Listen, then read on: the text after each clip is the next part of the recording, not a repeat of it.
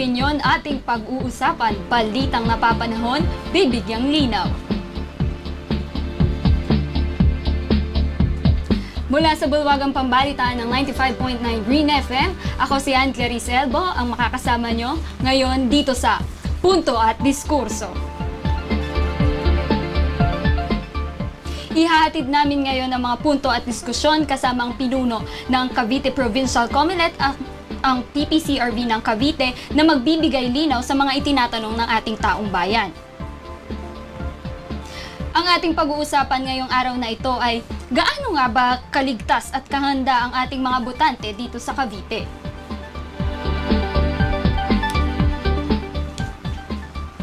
Ang Cavite ay tinuturing na vote-rich province, ang pangalawa sa may pinakamaraming bilang ng botante sumunod sa Cebu. Dahilan kung bakit tinututukan ng mga national candidates. Sa pag-igting ng kampanya ngayong election 2016, ang pambansang diskurso ay nakapokus sa mga kandidato, ang kanilang kwalifikasyon, posisyon sa mga issue at plataforma. Sa puntong ito, nais ng aming programa na ibalik ang focus ng mga botante sa kaligtasan ng kanilang boto at ng botante mismo. Hindi kaila sa atin na tuwing eleksyon ay may mga insidente ng karahasan at pagpatay dahil sa mga di umano'y magkakaaway na pamilya at supporters ng mga politiko. Isa pa ang issue ng vote buying o pagbebenta at pagbili ng boto sa mga binabantayan tuwing eleksyon. Marami na ring ulat na kumukwestiyon sa kredibilidad ng mga vote counting machines na ginagamit tuwing elections. Nung nakaraan, ang PCOS machine malfunctions ang nagpa-delay sa proseso ng pagbilang ng mga boto at paglabas ng resulta ng eleksyon. Ngayong 2016 naman, gagamit ang COMELEC ng vote counting machine o VCM na may dagdag na security features katulad na lang ng self-diagnosing lens na nagbibigay alerto sa machine operator kapag malabo na ang lens na nagbabasa ng balota. Mayroon din itong PWD-friendly features na pwedeng marinig ng botante gamit ang headphones. Ayon sa Comelec, mayroon na ring UV mark sensors ang VCM. Sa gitna ng mga diskusyon tungkol sa eleksyon, may dalawang institusyon na nakatalaga para mga laga sa mga boto at mga Pilipinong botante. Ang Commission on Election na nangangasiwa at nagbabantay sa pagsisiguro ng maayos na eleksyon at ang Parish Pastoral Council for Responsible Voting or PPCRV, isang non-government organization na nakabase sa simbahan at nagsusulong ng malinis na eleksyon. Pinagpala tayong umaga na to dahil makakasama natin ang Diocesan Prince ng Coordinator ng Parish Pastoral Council for Responsible Voting sa Diocese ng Imos na si Father Herald uh, Mart Arenal at ang ating Provincial Election Supervisor ng Cavite na si Attorney Vids Farjuli. So magandang umaga po sa inyo, Father. Magandang umaga. And magandang umaga rin po sa inyo, Attorney. So kamusta naman po ang naging araw nyo, ang umaga nyo po? It's a better day. Wow. Always a better day. Kasi every uh, every day na gigising ka, there's always a chance na maging mabuti ka at maiayos mo yung sarili. Yan. Kayo naman po, attorney? Uh, same also with our uh, sa PPCRB kay Father Herald. No? Kami naman, uh, everyday naman kasi is uh, tinitingnan, tinitingnan namin sa challenge. So, ganyan pa rin.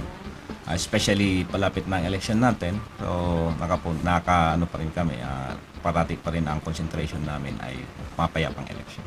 Yan. So maraming salamat po at pinaanyayahan niyo po kami sa aming imbitasyon na makipag-usap po sa amin at mabigyan ng mga uh, malinaw na diskusyon ang ating taong bayan tungkol sa darating na eleksyon. Pero ang ating po talagang pag-uusapan ngayon ay una ay ang paghahanda natin para sa eleksyon sa PPCRV po at sa COMELEC. At ang ikalawa naman po, yung mga isyong kinakaharap natin dito sa uh, probinsya ng Cavite. At yung ikatlo po, kaalaman at karapatan po ng mga botante ngayong eleksyon. Pero syempre po, uh, hold po muna natin lahat yan. Sasagutin mamaya yan sa pagbabalik ng punto at diskurso. Patuloy lamang pong tumutok dito sa 95.9 Green FM at Animo Channel TV.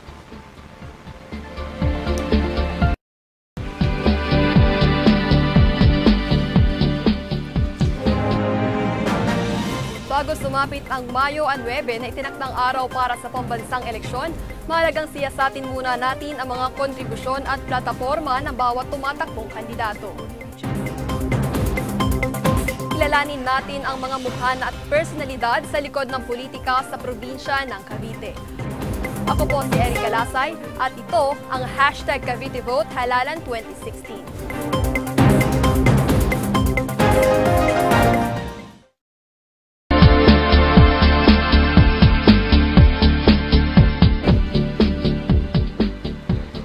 Muli po tayo nagbabalik dito lang sa punto at diskurso. Dito pa rin yan sa 95.9 Green FM at Animo Channel TV. So kasama pa rin po natin ngayong umaga ang head ng COMELEC sa probinsya ng Cavite at ang head din po ng PPCRV. So ngayon naman po ay ah, pag-uusapan natin or papakinggan naman natin ang mga katanungan ng taong bayan tungkol po sa na- nalalapit na eleksyon. Ano ang assurance na magiging ligtas at walang dayaan na mangyayari sa darating na eleksyon? Napakinggan nga po natin yung isa nating ma responsible voter din. So sabi po niya dito, meron po ba tayong espesyal na paghahandang ginagawa yung Comelec Cavite ngayong eleksyon, lalo na ah, pangalawa po ang Cavite sa may pinakamaraming botante. Uh, that's ano, the COMELEC in Cavite, in fact, in the entire country is preparing for these elections way back last year. So our preparation to have an honest and orderly election as well as to have a credible election uh, started last year when the COMELEC uh, the the list of the voters who had no biometrics. So they wanted that all uh, registered voters in the entire country to have their biometrics. Second is the preparation for the election. When the election period starts in January 10 uh, this year until today the COMELEC conducted series of trainings for the VEIs and as well as series of conferences with all agencies concerned uh, regarding the preparation for elections. So kung dito sa atin sa Cavite ang tanungin natin uh, kay Comelec and Cavite uh, pa, talagang tinututukan natin ang securities ng mga uh, mga tao, ng mga tao nagpe-perform din ng election duties uh, as well as yung credibility ng elections. So yun ang gusto natin mapakita considering nga ang Cavite is the second largest uh, number of registered voters in the entire country. So we wanted to have a peaceful, orderly, and a credible election in this province. So, ah, i-rate po natin kung ilang percent na po yung ah, preparations. 100% na po ba?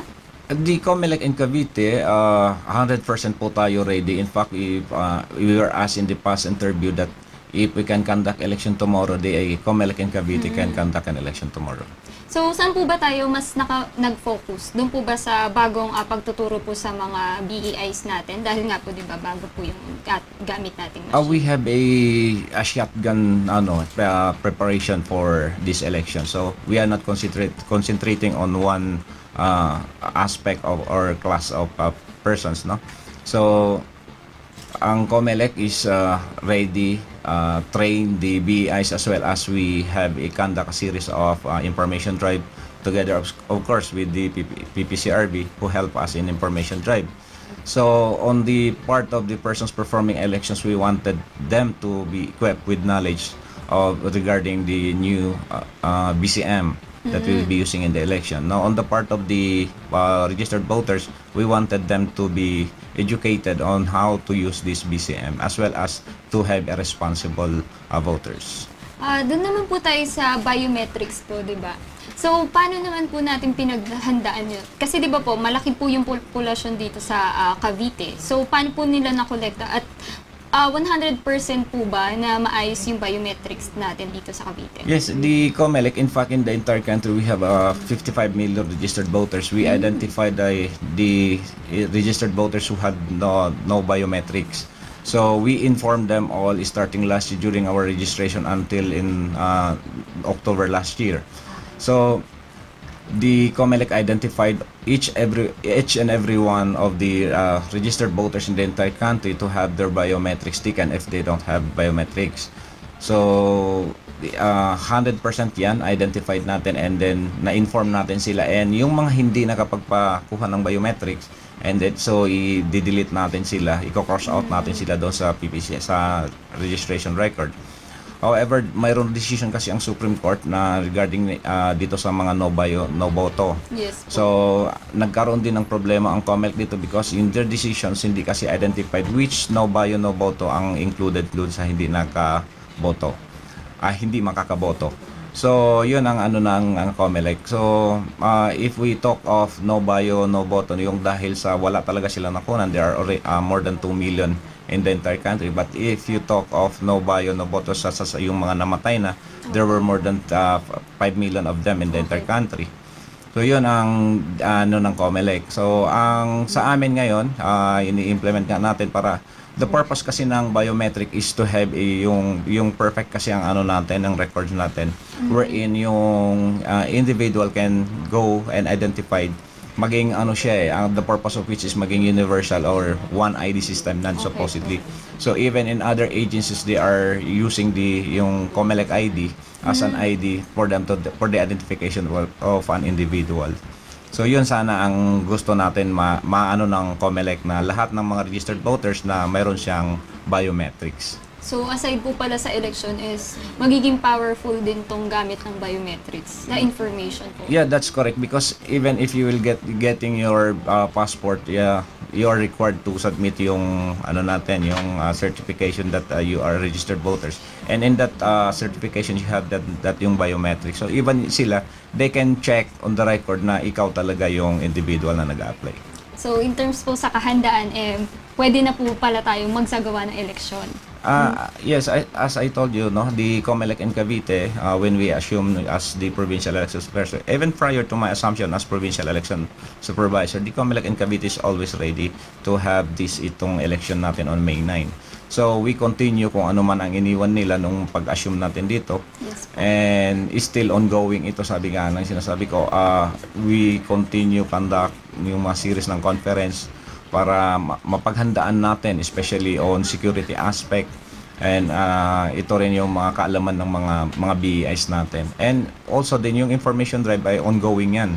In fact we ah, encourage all ano yung mga election officers na if possible to have information drive us to the ano eh sa mga barangay levels Opo. and in fact sa mga malls and yung other ano rin no yung mga citizens arm natin kagaya ng PPCRB invite, invited us to talk about itong new system natin ng BCM. Ngayon naman po, sa BPCRV po, Father Herald, ah, paano naman po tayo nakakasiguro na yung mga botante na kabitenyo eh responsable na? Uh, definitely, no. For the past months, uh, last year pa lang, no, we were informed for to pre- prepare for this coming election, no. So we've started by first having this good relationship with COMELEC and recruiting yung mga tao na mag uh, magpa-biometrics, no. Yun ang pinakauna namin ginawa. So? So during masses and some gatherings sa diocese, sa mga parishes, we've done yung encouragement Opo. for them para magpa-biometrics, no? So mahalaga 'yon para sa amin. And then after that, ang sinunod namin doon is voters education. So to make people really responsible and to make them see that to vote is not really that hard to do. Because sabi ko nga, when, we are, when I was talking with attorney Vidsfar, sabi ko, to vote is not, it's not hard to do. Kasi every day you need to, to choose. Di ba? Yung paggising mo pa lang sa umaga, yan na ipagpili na. Babangon ka o hindi. Opo. At pipiliin mo yung mabuti. Opo, bumangon. So, ibig sabihin, hindi mahirap ang bumoto. Opo. It's on the person na alam mo at aware ka na yung mabuti yung pipiliin mo. That's why for the past months, uh, all over the entire diocese, we've done a lot of voters education. So every Saturday, iba-ibang mga districts yung aming pinuntahan. So I'm expecting no na by doing those voters education, we've helped the people of Cavite na to choose yung aming uh, campaign or advocacy na one good vote. Opo. Because we believe in just one good vote, we can change everything. No? Sa ganun. So, yan po. So, sa inyo naman pong ah, dalawa, ano po sa tingin niyo yung iniiwasan nating mangyari talaga ngayong election dito sa Cavite? Well, ah, sa atin naman ang challenge kasi sa COMELEC is to have a credible elections. So ano paano natin ito ma, ah, magkaroon? Ah, so iniiwasan natin una-una yung kaguluhan. No, yan ang ano natin ah, ayaw natin mangyari yan na mag, maging magulo ang election dito sa Cavite. Uh, in the past election naman no, na mayroon man tayong history ng mga election related incident very minimal lang as compared to other provinces. So we wanted to continue and to to improve yung record nun. Then second is yung itong inaano natin na yung mga tao na, na dapat ay bumoto kasi kahit na gaano kalinis ang system ng pag-election natin kung wala mal, ah, mababa ang vote turnouts ng election so ibig sabihin nagkukulang tayo nag-inform, nag-inform sa mga ah, registered voters. So yan ang mga process ang mga kagustuhan na natin mangyari na for this ah, May 9 national and local elections. On our part naman, sa PPCRB, ano yung iniiwasan namin? Particularly yung vote buying and vote selling.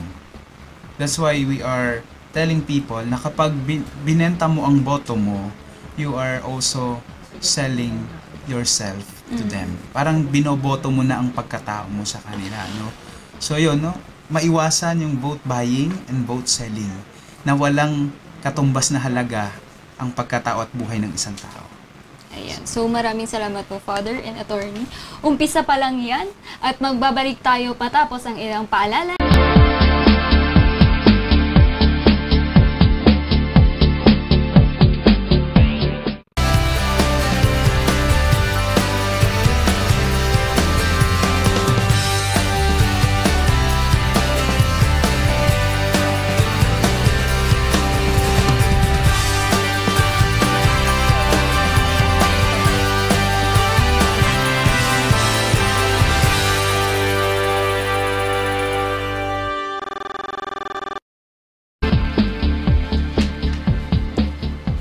Muling nagbabalik ang punto at diskurso. At ngayon naman ay dadako na po tayo sa ating ikalawang issue. At ang issue na yan ay tungkol naman po sa eleksyon, mga insidente na nangyayari dito. So pakinggan naman po natin ang isa na namang ah, taong bayan na nagtatanong sa atin. My question for the COMELEC is, what is their response to the social media viral post about uh, wherein Mara Has's name is highlighted in bright yellow in the voting ballots there? And yun, what is their response to that? And because to us, the youth who use the social me- who use social media so much, it seems like they're biased to him, or at least he has some sort of influence to the, in the COMELEC. Yeah. So ano po bang ah, stand ng Comelec doon? Well, actually, ang COMELEC kasi dapat ah, fair tayo sa lahat ng kandidato. Kaya ang tandaan natin, ang purpose ng election is ah, to have a... That's why yung fair election laws ay pinasa ng COMELEC para the same level lahat ng kandidato. So kung mayroon man tayong nakikita ganon sa mga balota in, in I, wala akong idea pa niyan no locally. Pero dito sa atin kasi yung balot naman na pinapakita sa amin, yung sa sample balot na pinapakita sa amin ay pare-parehas po ang mga size, ang color ng ano ng balota. So if that happens probably in in overseas absentee voting considering na sinasabi na ah, nasa abroad yan nangyari. So ah, dito sa atin na we sure na hindi yan po dapat mangyayari sa election kasi dapat nga sinasabi natin na pare-pare sila, pantay sila, maging administrasyon man sila, maging opposition man sila o maging independent man sila. Ah, so ah, dapat maging fair tayo para sa lahat ng mga kandidato. So, ayan po. So, ngayon naman po, ah, Father Harold, yun kanina nga po, di ba nabanggit nyo na, na tutu- tinuturuan nyo talaga yung mga kabitenyo na hindi sila magbenta ng kanilang boto. So, sa paanong paraan po ito ginagawa ng PPCRP? Uh, just like what I've said, no, yung voters education namin, nililinaw dito yung tamang pagpili ng kandidato. Who's this person? Whom am I going to vote? What kind of, what is the char- characteristic of this person? Anong uri ng pamumuhay meron siya? No, definitely yun yung pamamaraan namin. To, to make a person aware, bumbuksan yung kanyang kamalayan kung sino ba tong tao na ito. Not just because sikat siya, mayaman siya, pogi siya o maganda siya. Ang hindi lang yun yung basehan eh. Most particularly, ano ba yung maishishare ng taong ito doon sa posisyon na kanyang gustong marating. Sa tingin niyo po, ano po bang ah, root nitong ah, pagbibenta ng mga boto ng mga botante? Um, isa sa mga nagiging dahilan at sinasabi naman, no, quote and quote, is yung poverty, no? kahirapan daw. that's why sabi ko nga during my homilies na rin sa mga sa misa namin and then pag meron kaming voters education sabi ko kapag may lalapit sa akin an individual who will ask me father um, nandito na yung pera no? Let's say 3,000 pesos for just one vote. Kumakalam yung tiyan ko. Simple lang sasabihin ko no? It's better for you to die na gutom ka at least alam mo na hindi mo sinanla yung buhay mo o yung kaluluwa mo sa maling pamamaraan. Sure ka na makakarating ka ng langit, wala kang dalahin. Pero yung mamatay ka na busog ka, pero alam mo pinanggalingan yan ay hindi tama. I think that's an assurance na hindi ka i-welcome somewhere sa piling ng Diyos. No, yun yung as point of a priest, no? Kung ganun yung tatanungin sa akin ng isang tao. So, poverty is not really a reason for you to sell a vote. Hindi yung dahilan.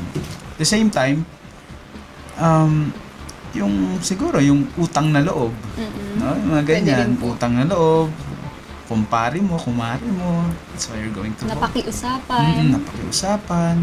Yung mga ganyan yung mga iniiwasan namin at tinutulungan namin yung mga tao na talagang maging mapanuri. Sabi nga, sa amin, on our part, bago ka bumoto, magdasal ka muna. Mm.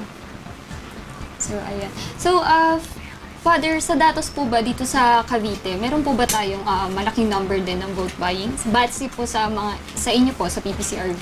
Um, may mga areas no na nagsasabi na sa akin ng meron daw mga pamamaraan ng politicians very ano sir very creative ngayon ng mga politicians no? Mm. magbibigay ng t-shirt may nakapaloob na pera sa loob Ah, ng t-shirt sabi ha?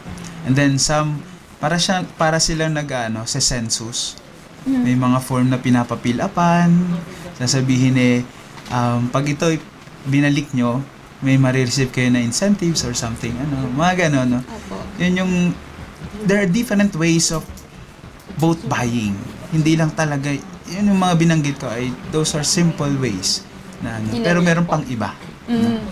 Pero meron po talagang tala dito sa meron Cavite. meron meron mga areas na ano So, ah, dito naman po tayo. Ah, Attorney Julie, paano naman po ninyo dinidiscourage yung mga ah, politiko na bumili ng boto?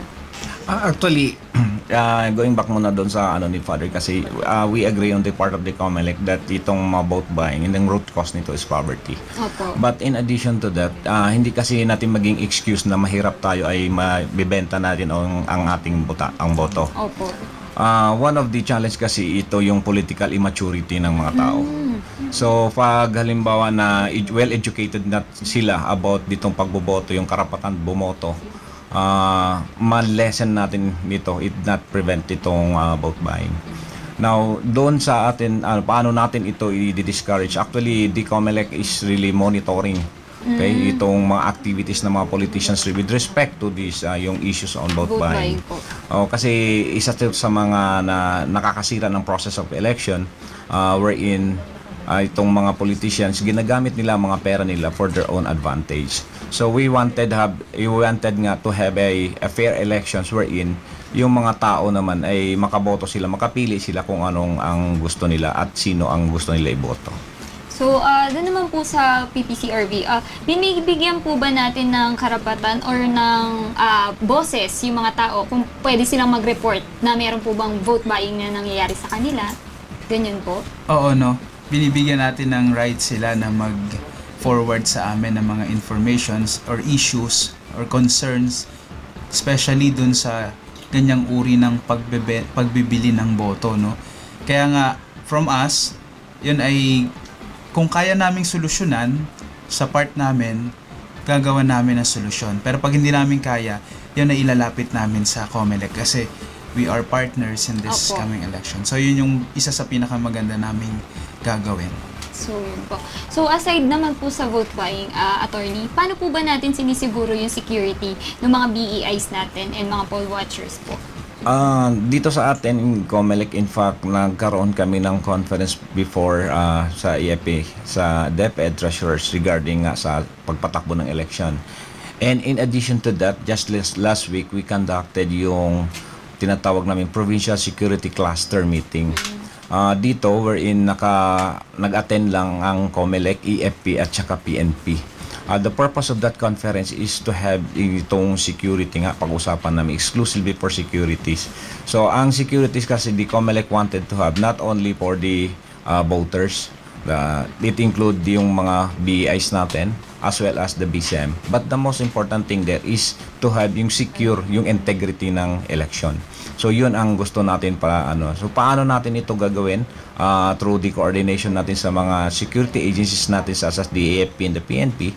In fact, we requested for augmentation for some areas na kulang ang PNP na mag-augment kami ng PNP to deploy para ma-feel ng tao na secure sila sa pagboboto and na ma- ma- mapakita rin natin sa tao na yung mga machines na ginagamit natin ay secure. Now, with respect to the machine itself also, yung security ng machines natin, I can assure you, I can vouch my uh, reputation that the BCM is really secure. It is twice the ano, security of the PCOS we used in the past election in 2010 and 2013.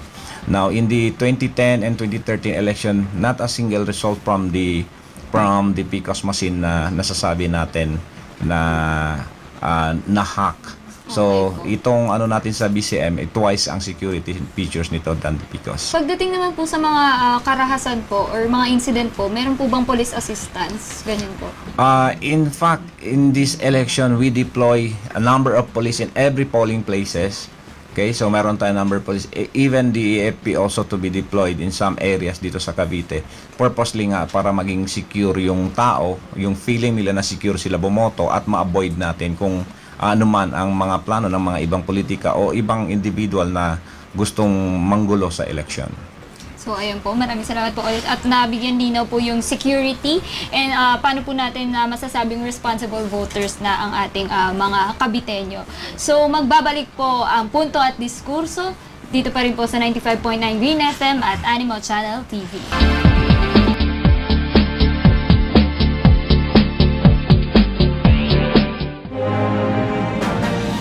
Bago sumapit ang Mayo 9 na itinakdang araw para sa pambansang eleksyon, mahalagang siyasatin muna natin ang mga kontribusyon at plataforma ng bawat tumatakbong kandidato. Kilalanin natin ang mga mukha at personalidad sa likod ng politika sa probinsya ng Cavite.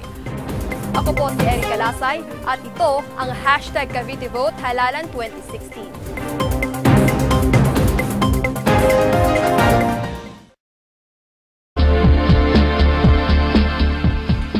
Muling nagbabalik ang punto at diskurso at ngayon naman po dadako na tayo sa ating pangatlong puntong pag-uusapan ngayon. Ito naman ay kaalaman ng mga botante patungkol sa kanilang respons- responsibilidad at karapatan nga ngayong eleksyon. So pakinggan po natin ang isang katanungan. tanong ko po is, paano nyo po may educate yung mga kabataan, particular po sa responsible voting?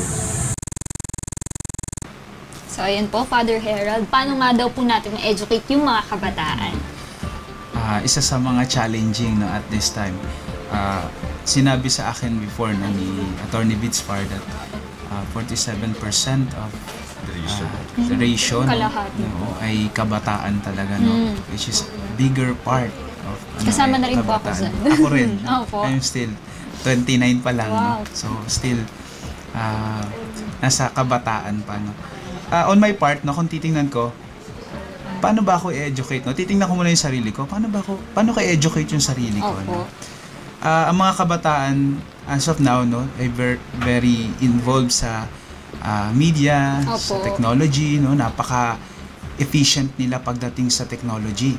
Kaya ang mga kabataan, isang click lang alam nila kung paano ikakalat Opo. yung isang ano no. At gusto nila isang click Mm-mm. lang, nandun na lahat. That's why on our part no sa PPCRV, we're using technologies like Facebook, yung mga accounts no, Twitter or some um, Instagram para mahikayat no na makita ng kabataan may ganda ang election. Yung yun ang gusto kong palabasin. Election is beautiful in itself. Kasi kung babalikan ko no, on my part spiritually, ang Diyos ay tinuruan tayong pumili. Diba? God chose this. diba? God chose a person to become a prophet, mga ganon. So, ibig sabihin, it is not only a responsibility but to vote is holy in itself. At yun gusto kong palabasin, lalo na sa mga kabataan, makita nila ang ganda ng eleksyon. Okay. How is it attractive, creative, and uh, um, inspiring. So ano naman pong ah, laman ng mga Facebook and Twitter account nyo? Well, definitely, we have this, yung mga brochures, no, na andun yung mga pictures ng some um, cartoon characters. Mm. Alam ko, pag ganyan, ang kabataan, very attractive yung pag may nakitang image, mga ganyan, no. Halimbawa, si Johnny Bravo, Okay po. he is promoting one good vote. No? Mhm. Sabi, bakit ganyan, no? Yung gano'n, no? And then, through text, Mm. pwedeng gamitin, no?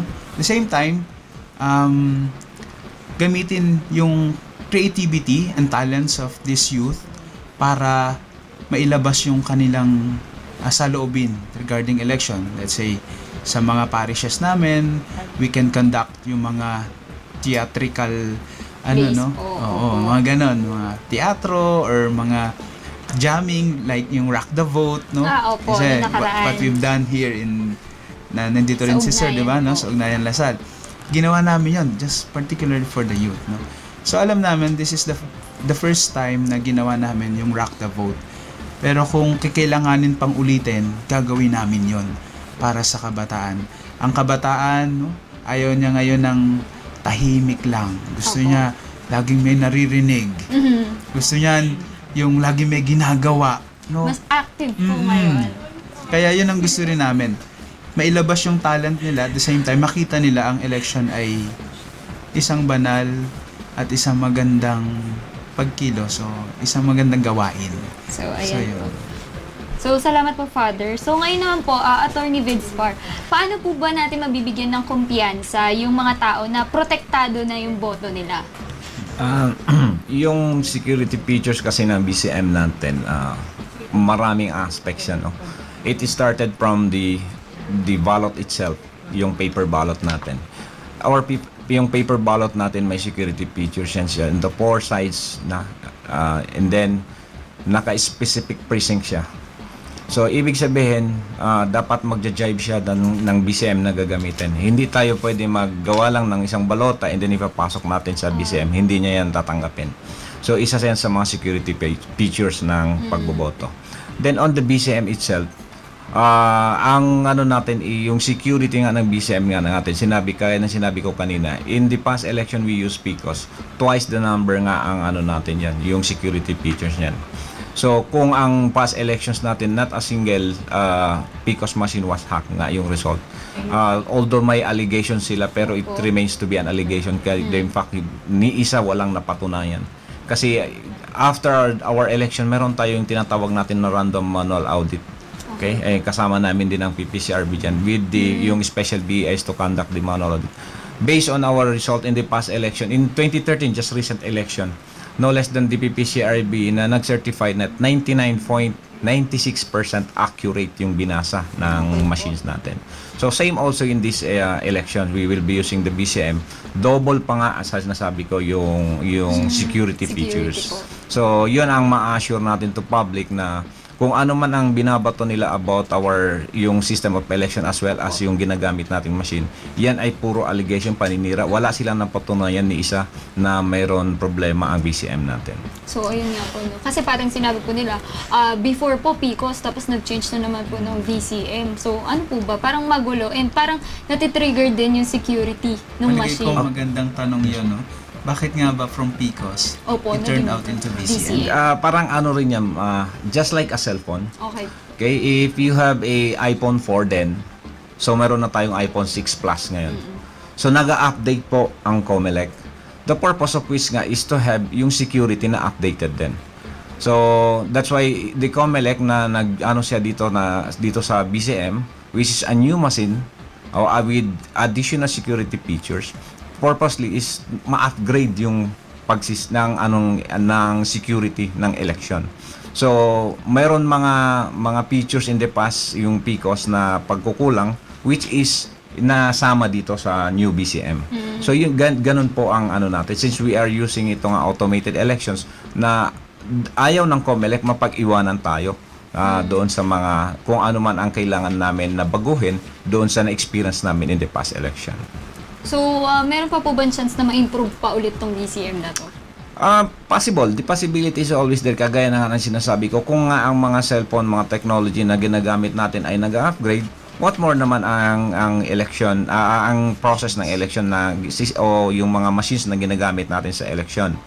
So, ah, until such time na dumating tayo siguro na fully automated elections, that, that's the only time na maging ano yan siya eh, maging stable siya ng system natin. Uh, in our country, we have already only 55 million registered voters. Com- as to compare to, example, India, they have a Opo. 700 million Million. registered voters. So, as in 700 million population with 300, more than 300 million registered voters. And yet, they are using yung direct recording electronics. So, kung titingnan natin the the system of election the the process of um, elections na ginagamit natin uh, we are using OMR itong mga ganito is tawag natin na OMR pa to.